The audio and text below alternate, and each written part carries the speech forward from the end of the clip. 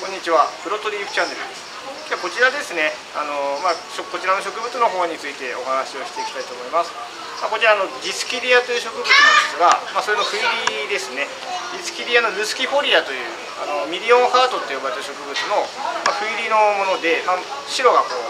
葉っぱの縁に覆輪といって白が入るタイプなんですが、まあ、これをですねあの、まあ、プラントハンターさん、あの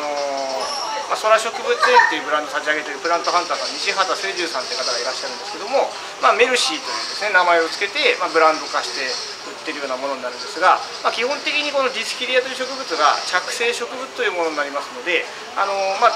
ちょっと重い土とかに植えなくても大丈夫というところでこの鉢はですねあのヤシ柄で植わってるんですよ。ココピートっていうヤシ柄で植わってたりとかするんですけども、まあ、基本的に根っこは空気を好むのであまり重い鉢とかに植え替えをしない方がよろしいですね、まあ、使うんであれば水苔ですとかやっぱりこういったココピートみたいなもので植えていただくのがよろしいかなと思います。でですねあの管理方法としては標高線が苦手なので直射日光に当てないようにしていただいて、まあ、本当にお部屋の中でしたらレースのカーテン越しぐらいの明るいところに置いていただいてお水乾燥に強いんで、まあ、完全に表面が乾いたらたっぷりと水をあげていただくような形の管理で十分なので、まあ、頭からこう下が流れるぐらいまでざーっと水をかけていただくような形でやっていただければ、ま、乾燥にも強いんで、ま、非常に育てやすい植物だと思いますので、まあ、ぜひ試してみていただければよろしいかと思いますのでよろしくお願いします。